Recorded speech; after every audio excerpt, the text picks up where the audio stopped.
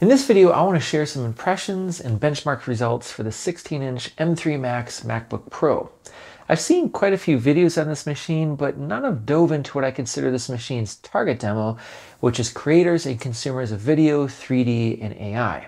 If you don't actively require computing power for those types of applications, this machine is probably overkill and your money's probably better spent on the MacBook with the Pro chip, specifically the base Pro with its 12-core CPU and 18-core GPU. With 18 gigabytes unified memory, the 14 inch starts at around 1,999 and the 16 at $2,499. Now as spec, the machine that I bought runs $41.99.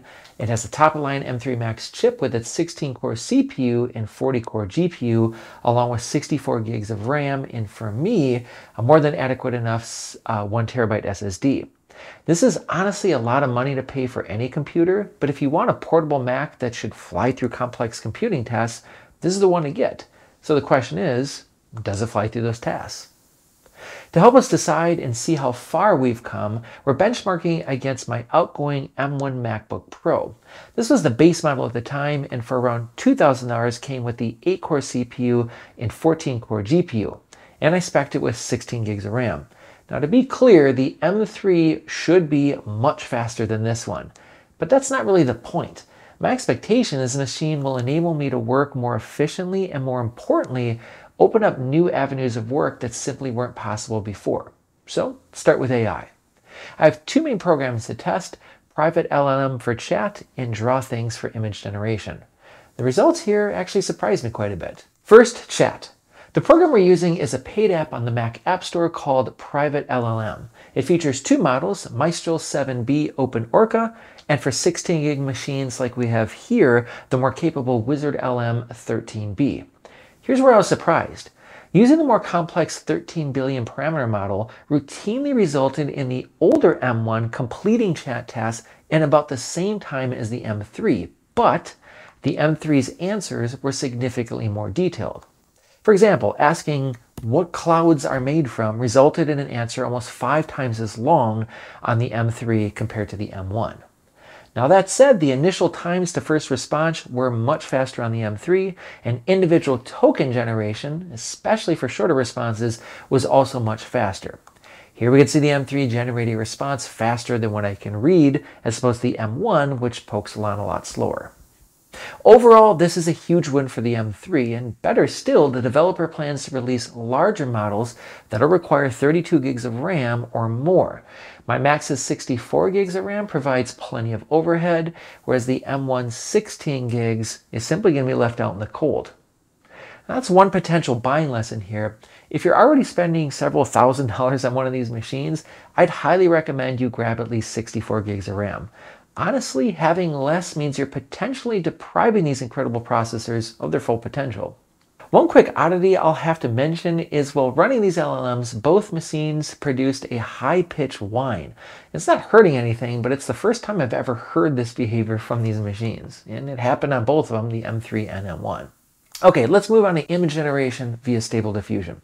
For this task, I use an app called Draw Things. And going into this purchase, my primary hope was the performance I get would be much closer to my PC with its dedicated GPU, which is an RTX 3080. I want to be clear here. From this task, it's more than just raw time. It's about how I tend to work with image generation. The gist is for me, this is an iterative task, meaning I rarely get the result I want on the first go, which means the faster I can spit out images, the more likely I am to use this technology. With my PC, I'm able to spit out a square 512 pixel image with 20 steps in just over two seconds. That's fast enough that may as well be instantaneous. And here's where I was the most looking forward to this new machine. With the same task, the M1 was just too darn slow. Each image using approximately the same settings would take anywhere between 30 seconds to a minute to generate, making that iterative workflow a real pain. So how does the M3 Max chip do? Surprisingly well. In short, a 512 by 512 image takes about four and a half seconds. Not quite as good as the 3080, but now more than fast enough to enable that quick iterative workflow.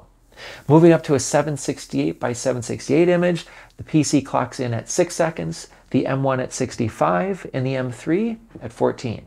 I'm quite happy with this result, but I would implore Apple to keep improving its hardware and software in this area.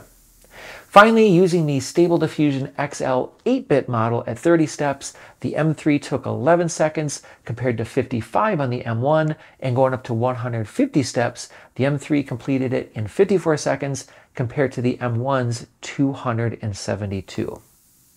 So as far as image generation takeaways, the M3 is much more usable, to the point where I have no complaints. The PC still dominates, and to be clear, the RTX 4090 is twice as fast again as my 3080. But overall, the M3 enables AI workflows to a far greater degree than my M1. It goes from that's neat to a tool I actually want to use. Now, a couple of quick notes. DrawThings lets you set which compute units are used, with your options being CPU and GPU, CPU and Neural Engine, or all. I found that with the M1, the results are about the same across all options, but on the M3, the neural engine becomes a liability, posting results that are up to 40% slower than just using the CPU and GPU. Something to keep in mind moving forward for Apple's designers of the neural engine. Okay, on to 3D. So here the results are far more stark and honestly all come with a pretty big caveat. See, the M3 chips now support hardware ray tracing, and just as we saw when the same feature came to the NVIDIA 30 and AMD 6000 series cards, there is a night and day difference between rendering with hardware ray tracing and without. Bottom line though, I ran a few common scenes and the results are just plain awesome. For the classic BMW scene, the M3 finished in 8.5 seconds compared to a minute 15 on the M1, and there's a note here too, which is that the BMW benchmark was created long before the optical denoisers became as powerful as they are today.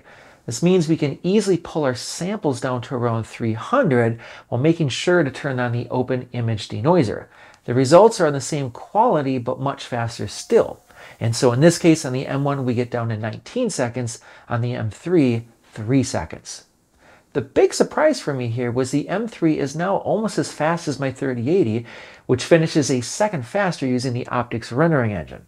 When the PC uses CUDA, however, the M3 was actually faster by about 20%. Again, a great result for Apple here.